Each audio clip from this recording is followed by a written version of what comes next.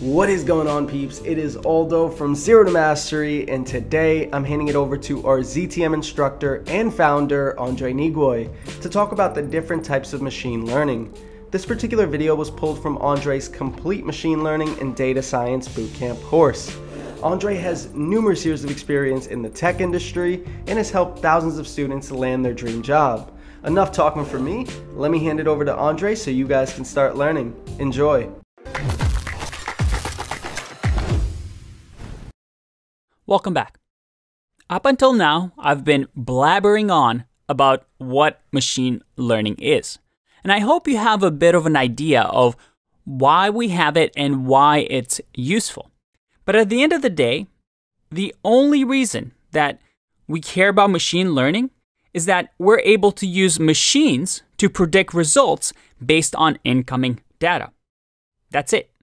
Now, this idea of machine learning, and don't worry, I know we keep talking about theory, but I promise we're going to get some coding exercises first. But I do want to talk quickly about some of the machine learning categories that you often see. And keep in mind what I said. That is, machine learning is simply about predicting results based on incoming data.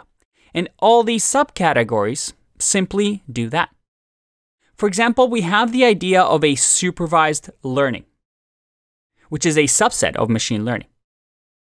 In this supervised learning, the data that we received already has categories. Think of it as a CSV files with rows and columns labeled. We have labeled data and a test data that is labeled so we know if our function is right or wrong. So in a supervised learning scenario, we can do things like classification to decide is this an apple or is this a pear? Machine learning model simply draws a line to decide, hey, this is an apple and this is a pear. Or we might do something called regression instead of classification, based on inputs. For example, predicting stock prices.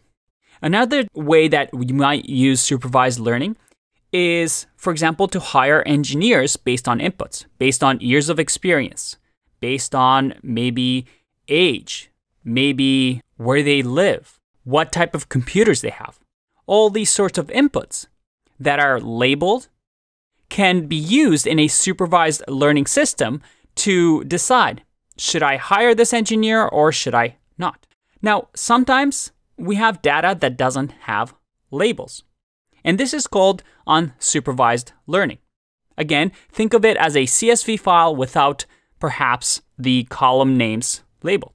Sometimes, with things like clustering, we need to create these groups, or at least the machine to create these groups. For example, we give it a bunch of data points, and then the machine decides, oh, this is a group, this is a group, and this is a group.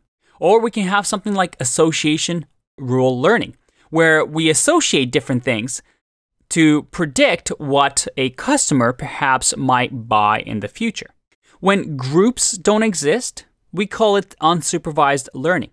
We can't tell the machine that they are right or wrong like we can when we do apples versus pears, since there are no true categories, but we let the machines just create these categories for us.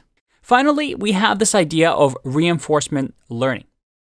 And reinforcement learning is really interesting because it's all about teaching machines through trial and error, through rewards and punishment.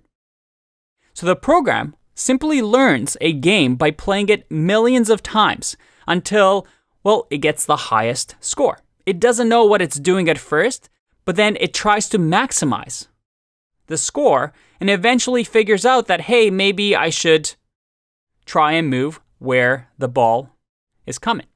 So this is seen for skill acquisition or real-time learning. And you see it a lot in machine learning programs that play, for example, video games. But the idea here is that machine learning has different categories and different ways to accomplish its goal. And topics like neural networks, decision trees, support vector machines, k nearest neighbor, are simply algorithms that are used with these subfields in order to come to these predictions. But remember the key thing. All of these, what they're doing is trying to learn from the data that it receives and predict something. Aldo here again, hope you enjoyed the video. If you found this video helpful, you will absolutely love Andrei and Daniel's complete machine learning and data science bootcamp course. They dive into everything you need to know regarding data visualization, data analysis, neural networks, data engineering, and so much more. More information on that in the description below. But that's it for today, and until next time.